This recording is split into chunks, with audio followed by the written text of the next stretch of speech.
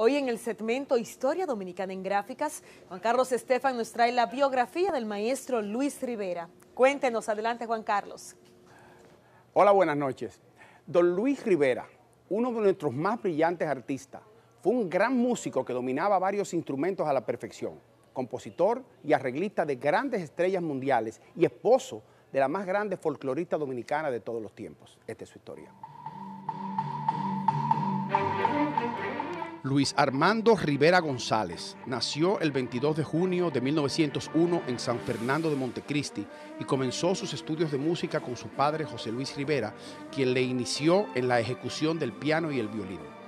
En Santiago de los Caballeros continuó perfeccionándose como violinista con el maestro Carlos Manuel García Vila y, siendo adolescente aún, integró la sección de los primeros violines de la orquesta del Centro Lírico y Delfonso Arté bajo la dirección de José Oviedo García. Don Luis Rivera recorrió casi todo el país acompañando las compañías de zarzuelas, óperas y operetas que venían frecuentemente a realizar giras. También formó parte de diversas agrupaciones que se dedicaban a tocar en los cines cuando los films eran silentes. Formó parte de los primeros violines de la Filarmónica de La Habana que dirigía su fundador, el maestro español Pedro San Juan. Y fue en La Habana donde Rivera tomó clases de armonía y composición con Amadeo Roldán, quien fungía para aquella época como concertino de la Filarmónica. En el año 1932 publicó su primer álbum de canciones. Conoció a Ernesto Lecuona, se le rindió un homenaje como compositor y violinista en el conservatorio. En la década del 40 conoció a la cantante y bailarina Cassandra Damirón, con quien quedó prendado.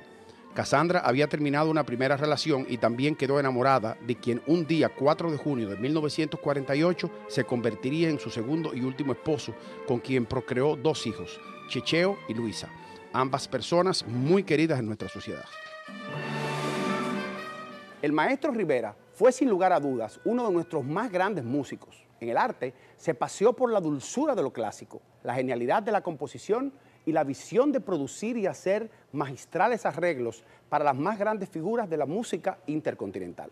Falleció el 16 de septiembre de 1986 a los 85 años de edad. Puede contactarnos a través de Facebook Historia Dominicana en Gráficas, en Instagram como Isdongra y al correo historia dg arroba noticiassin.com. Buenas noches.